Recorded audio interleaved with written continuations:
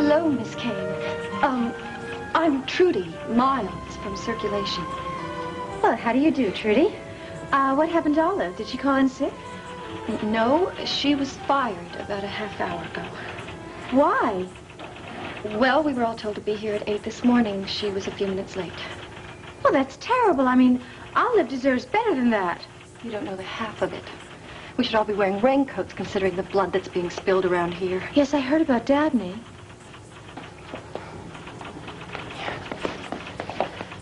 And Kylie. And Peterson. Cal Peterson was fired? I'm scared I won't make it through the day without getting fired myself. No, don't get psyched out, Trudy. I can't help it. This isn't my job. I don't even know how to work Olive's intercom.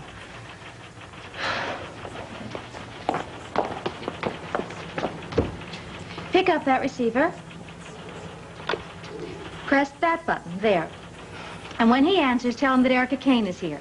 Yes, do it right now. Go ahead. Do it now. Oh, I don't think I should. He, he's got two men in there right now. Believe me, whoever it is, he will be grateful. Go ahead. Okay. Okay. Uh, Miss Erica Kane is here to see you, sir. Yes, sir. He will be with you shortly. Uh-huh. Hey, guy, I'm a steely look. You just stand no reasons, no critique. I've never been treated like that in, before in my life. The man's, he's a maniac. A maniac, then you're being excuse kind. me, what's going on? I'm Erica Kane. Oh, well, how do you do, Miss Kane? You represent the, uh, the good old days, I imagine. We were just hired this morning. And fired this, This morning. morning. Oh, We're out of here. no.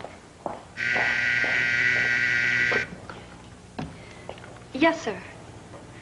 Oh, you may go right in, Miss Kane.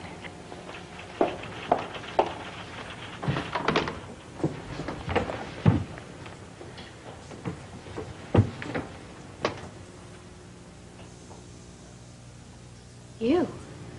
What are you doing here? I might ask you the same question. I'm here to see the new owner of Tempo. Well, you're looking at him. You must have been too busy planning Jeremy's jail break to know what you were doing. I should have known you'd be waiting. Anyway. Well, would you get to the point, Erica? I don't have time to chit-chat. Yes, I agree with you. We have no time to waste. Tempo's going down the tubes fast. Everyone out there is so afraid they're going to be fired. Yes, like to keep them on their toes. No, face it, Adam. You need someone to head Tempo magazine who can inspire the staff to give their best. Hmm. You need me back at the helm. You've got to be kidding. Oh, Adam, I put Tempo on the map. Yes. Then you sold it to run off with Jeremy. Or, or, or to run off with Matt. Or just who are you marrying, anyway? Neither. But I'm not here to discuss my personal life. The important thing for us to discuss is a plan of operation. Wait a minute, let me get this straight. Are, are you saying that after all the things you've done to me and all the, all the names you've called me, that you really are suggesting that we work together? Yes. For both our sakes. Really, Adam, between you and me, we can make Tempo the best magazine in the world. You really think so? Yes. You know I mean this. My goodness, you can't deny the fact that I was the very best editor-in-chief that Tempo magazine ever had. Well, not to mention how bad the ones before you were, but yes, you did have a certain flair. So you can handle the money end. I can handle the creative end. Well, well, isn't it amazing the way things work? Erica, I want to say something to you that I've, I've wanted to say for a long time. What?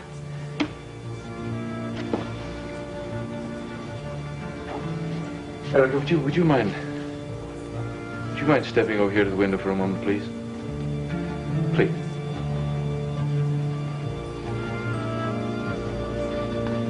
Look out there, down there. Nearly everything you see belongs to me. And I wouldn't hire you if you were the last person on earth.